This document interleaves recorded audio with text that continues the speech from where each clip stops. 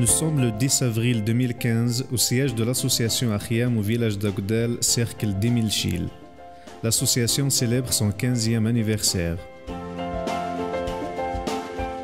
Ils sont venus nombreux pour participer, les services techniques, la société civile, les communes et la population.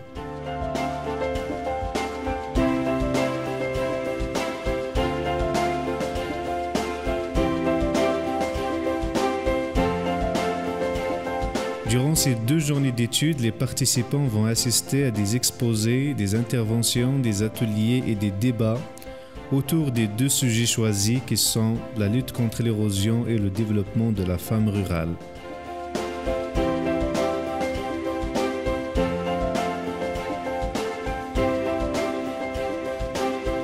À la même occasion, un groupe de journalistes de différents médias sont venus pour couvrir l'événement et réaliser des reportages sur la région.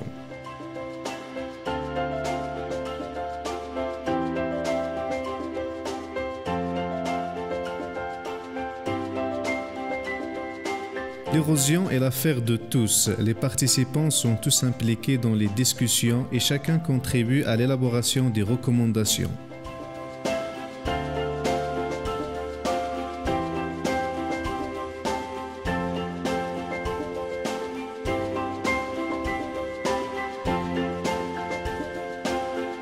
Sous le beau soleil du vendredi 10 avril, une sortie dans la région permettra de visiter les projets réalisés par l'association sur le terrain. C'est à Bozmo que l'association va montrer aux participants une de ses réussites. En amont du barrage de Bozmo, des digues en gabion et des seuils en pierre sèche ont été construites dans le cadre d'un projet en partenariat avec le Fonds mondial de l'environnement. C'est dans les sols fixés par ces seuils que l'association plante des jeunes pousses de grosailliers sauvages et des pinvinettes qui ont été multipliées au sein de trois pépinières.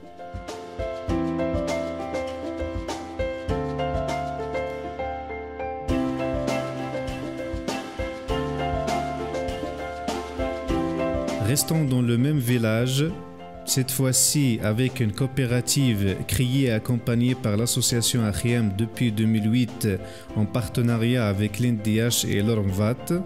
Il s'agit de la coopérative Asif Milul de production de jus et vinaigre de pomme.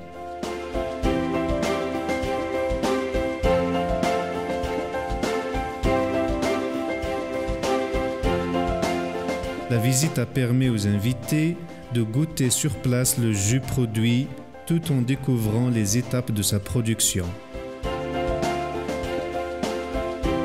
Revenons à la conférence. M. Brahim Jafar, expert et membre d'Achiem, met en évidence l'intervention de l'association dans le domaine du développement de la femme rurale. Parmi ces réalisations, deux coopératives créées et encadrées par l'association au profit de deux groupes de femmes leaders, à Emilchil et à en partenariat avec le Fonds pour l'égalité des genres. La coopérative féminine Tamunt à Emilchil est un exemple significatif pour l'amélioration des revenus des femmes par le biais de deux activités principales, le tissage artisanal local et la pâtisserie. De même, une autre activité en profit d'un groupe de 13 femmes vulnérables de la commune de Bozmo qui sont organisées pour la collecte et le conditionnement des œufs fermiers.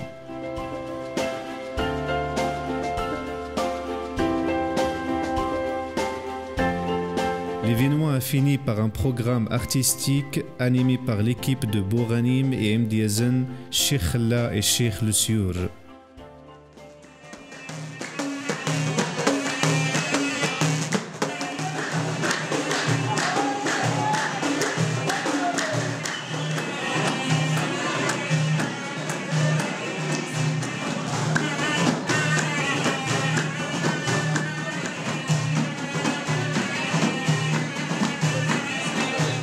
Joyeux anniversaire Achiem. أسوكو سماينون خيام Joyeux anniversaire, Ariam سنة سعيدة أخيام سنة سعيدة أخيام Bon anniversaire, association Achiam. Bon et heureux anniversaire pour l'association Ariane. أسقس أمينو أخيام أقدر أسكوا سنفرش أخيام